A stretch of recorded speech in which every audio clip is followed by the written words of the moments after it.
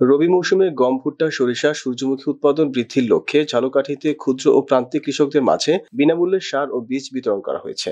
আজ রবিবার সকাল সাড়ে এগারোটায় সদর উপজেলা পরিষদ মিলনায়তনে ভিডিও কনফারেন্সের মাধ্যমে সার ও বীজ বিতরণ কার্যক্রম উদ্বোধন করেন শিল্প মন্ত্রণালয় সম্পর্কিত সংসদীয় স্থায়ী কমিটির সভাপতি, সাবেক শিক্ষামন্ত্রী ও চোদ্দ দলের মুখপাত্র ও সমন্বয়ক আমির হোসেন আমু, এমপি। প্রধান অতিথির বক্তব্যে তিনি বলেন, আওয়ামী লীগ সরকার, মাননীয় প্রধানমন্ত্রী শেখ হাসিনার ক্ষমতায় আসার পরে দেশের খাদ্য স্বয়ংসম্পূর্ণভাবে অর্জন করেছে। দেশে এখন কোনো খাদ্যের অভাব নেই। দেশে আজ খাদ্যের স্বয়ংসম্পূর্ণ। সরকার সবসময় কৃষকদের পাশে থেকে তাদেরকে সব ধরনের সহযোগিতা করে আসছে আর কৃষকরা দক্ষতার সাথে কঠোর পরিশ্রম করে ফসল উৎপাদন করছে। তিনি আরও বলেন, যখনই আওয়ামী লীগ ক্ষমতায় আসে, তখন কৃষকদের বিনামূল্যে এবং ন্যায্য মূল্যে সার বীজ প্রদান করে থাকে।